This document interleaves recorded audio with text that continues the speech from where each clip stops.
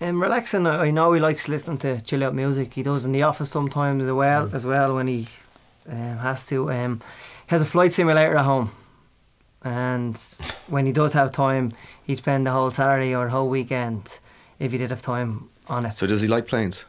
He loves planes. We live so close to the airport. John would spend probably hours up watching the planes come in on crosswinds, bad winds. He knows every runway. Yeah, yeah, yeah, yeah. Is that true, John?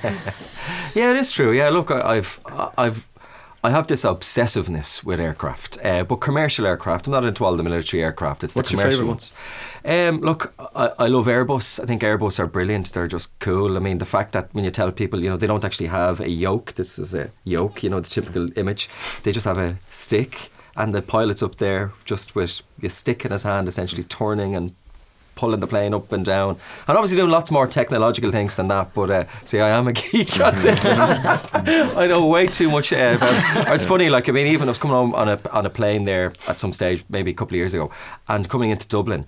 I was sitting up the front of the plane uh, on a small A319, and I could hear the co or the pilot turning off the autopilot, and I just heard the sound because I know it, and I was, oh, that's class, class. yeah, I love planes. I love planes.